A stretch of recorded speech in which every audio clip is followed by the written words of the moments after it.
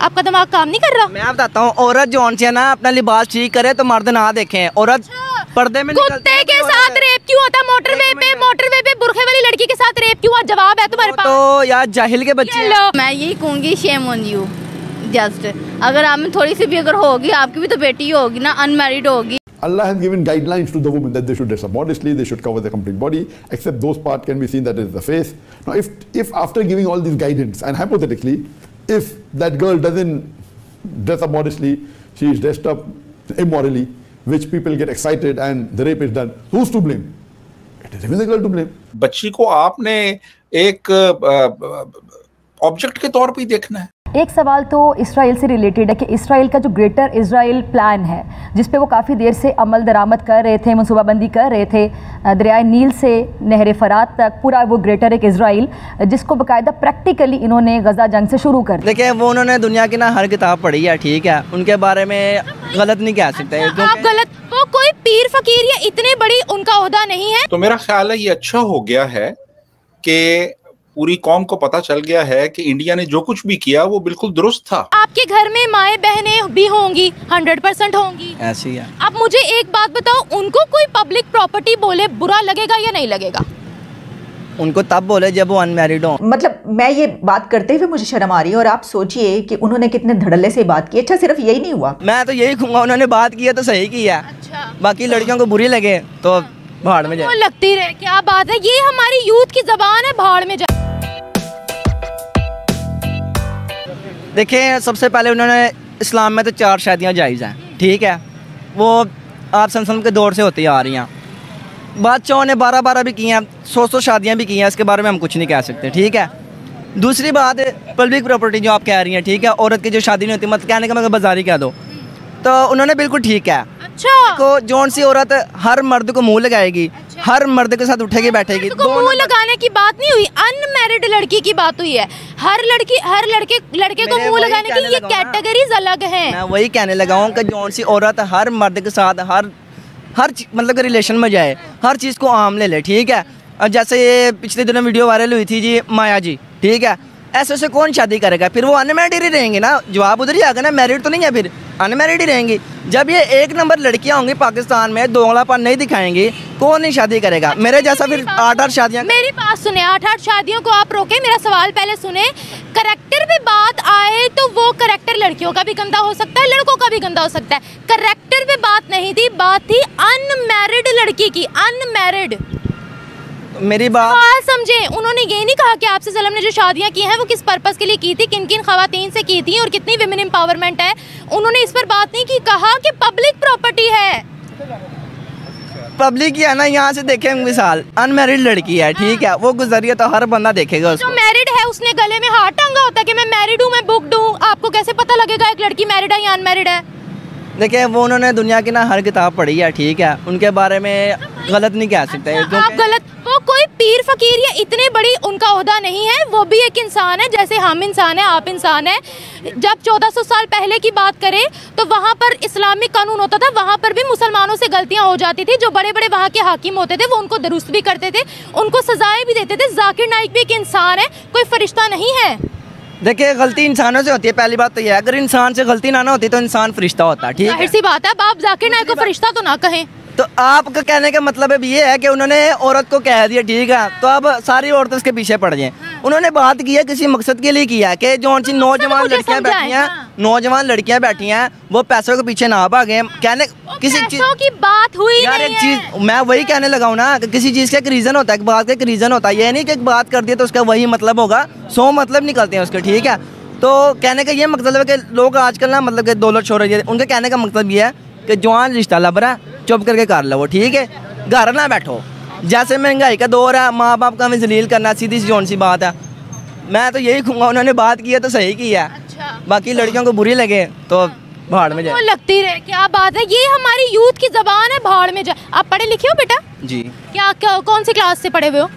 मैं कितना पढ़े हुए हो? मैं नाइन्थ की है। नाइन्थ की हुई है। यस आपके घर में माए बहने भी होंगी हंड्रेड परसेंट होंगी। ऐसी है। अब मुझे एक बात बताओ उनको कोई पब्लिक प्रॉपर्टी बोले बुरा लगेगा या नहीं लगेगा? उनको तब बोले जब वो अनमेरिड हो। सिस्टर की भी शादी मतलब आपके दिमाग में ये घुसा हुआ है कि अनमेरिड है तो वो पब्लिक प्रॉपर्टी है।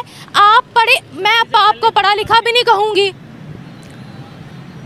यार अच्छा एक मिनट मुझे बताओ अनमेरिड लड़कियाँ पब्लिक प्रॉपर्टी है तो मैरिड लड़कियों के रेप क्यों होते हैं?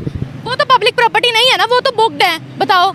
जैसे लड़कियाँ ऐसे फिर लड़के भी हैं। वो भी करते हैं फिर रेप अच्छा जैसे लड़कियाँ वैसे लड़के भी लड़के भी हैं। हैं। मैं लड़कों को भी गलत कहूँगा। मैं कोई फरिश्ता थोड़ी ना मैं लड़कों को भी गलत कहूँगा। पाँच उंगलियाँ बराबर नहीं होती है देख लें ठीक है? कहने का ना लड़के हर लड़का गलत नहीं है ना हर लड़की मतलब का गलत है। मुझे बात बताओ आप सल्लम ने विमेन को इतनी रिस्पेक्ट दी ठीक है? हज़रत खदीजा की मिसाल ले लें वो इतनी ज़्यादा इतनी बड़ी बिज़नेस वुमेन थी उनका कारोबार कितना बड़ा था, वो विमेन एम्पावरमेंट की मिसाल है। ये क्यों नहीं आकर बताया? उन्होंने ये क्यों नहीं बताया कि आप सल्लम ने जितनी शादियाँ की थी, वो विमेन को रिस्पेक्ट देने के लिए की थी और किन किन औरतों से शादी की थी, वो मिसालें क्यों नहीं दी? पब्लिक प्रॉपर्टी कहना ऑप्रेस करना, यही उन्होंने क्यों सिखाया हमारी आवाम को? मैं आपको ना एक चीज़ समझाता हूँ, देखें, आपने मुझे देख के यहाँ पर ठीक है, मुझसे सवाल किस तरीके से किया, ठीक है? ऐसे ही उन्होंने डॉक्टर जाकिर नायक पाकिस्तान आया ना एक महीने के लिए तो उन्होंने मुल्क के हालात देख के उस टॉपिक पर बात की है। नहीं उनसे मुल्क के हालात पे बात ही नहीं थी। उन्होंने ओवरऑल एक बात बोली। अब वो किसी मुल्क में जाएँगे फॉर एग्जांपल उनकी मलेशिया में फॉर एग्जांपल नहीं उनका अपना राय है पीछे से ना बोले। फॉर एग्जांपल वो मलेशिया में गए हैं। वो मलेशिया में उनसे कोई सवाल पूछा जाएगा तो वो पहले ये नहीं देखेंगे कि मलेशिया की इंटरनल सिचुएशन कैसी है मलेशिया की इकोनॉमी कैसी है। वो एक इस्लामिक स्कॉलर के लाए जाते हैं। उन्होंने इस्लाम के मुताबिक जवाब देना है उन्होंने मुल्क के मुताबिक जवाब नहीं देना। देखिए मुल्क के मुताबिक कौन नहीं देगा?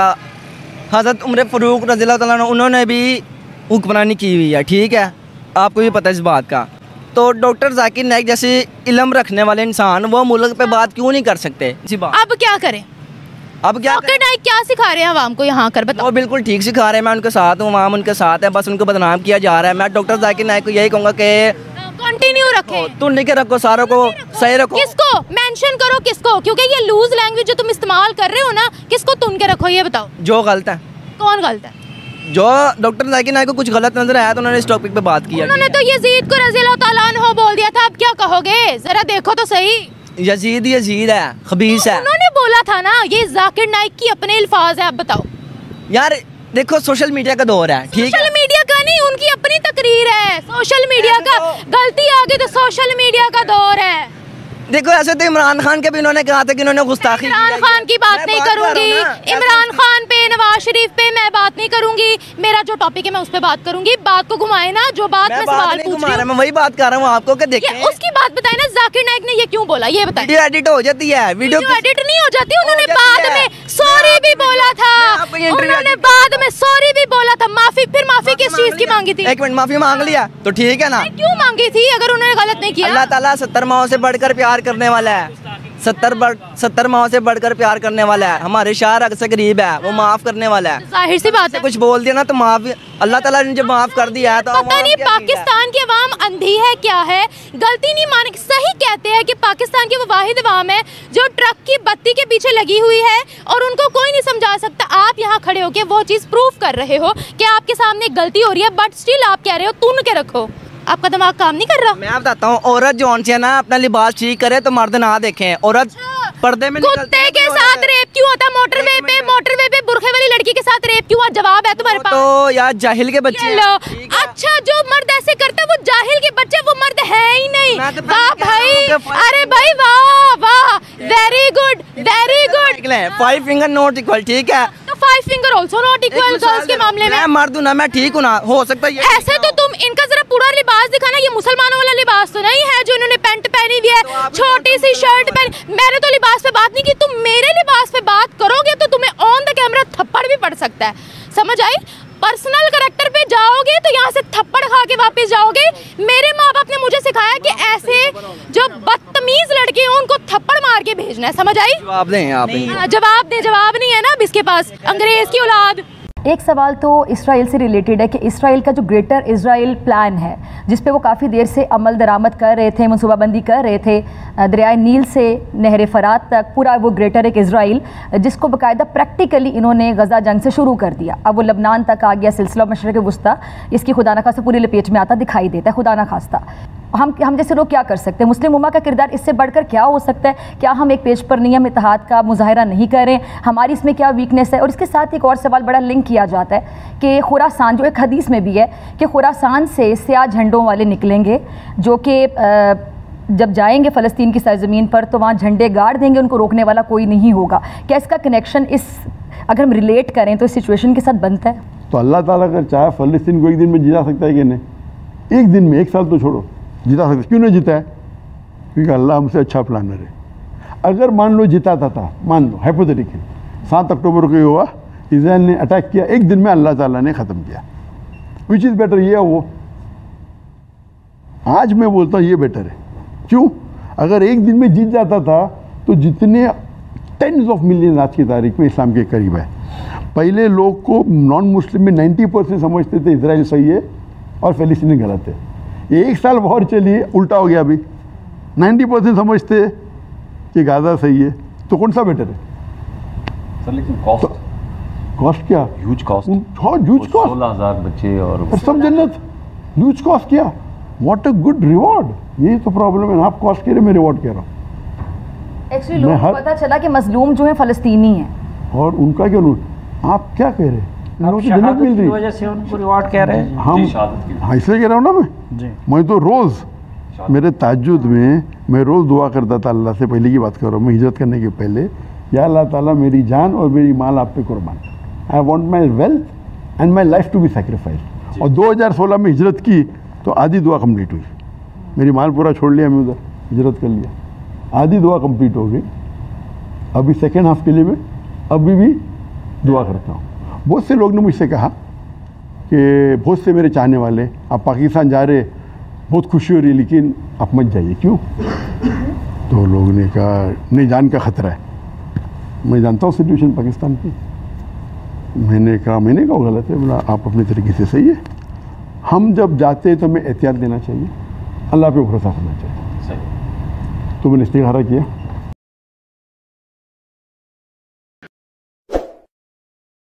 Allah has given guidelines to the women that they should dress up modestly, they should cover the complete body, except those parts can be seen that is the face. Now, if, if after giving all these guidance, and hypothetically, if that girl doesn't dress up modestly, she is dressed up immorally, which people get excited and the rape is done, who's to blame? It is even the girl to blame. It is a test for the girl. For the girl, was she following the advice of Allah subhanahu wa ta'ala by wearing appropriate clothes or not? If she was not, then she is to blame to attract the mène Touré pas.